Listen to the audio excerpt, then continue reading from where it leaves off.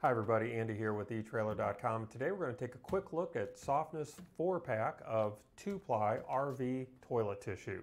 Now this RV toilet paper is going to prevent clogs in RV waste tanks.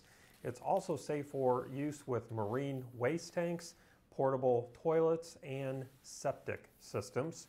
You are going to get four unscented 2-ply 250 sheet rolls and if you're looking to double your rolls, I would recommend checking out the Softness Double Roll RV Toilet Tissue. You can find that on our website using item number Q23638. Well, that's going to conclude our look today. I do hope it was helpful for you. Again, my name is Andy. Thank you for joining me.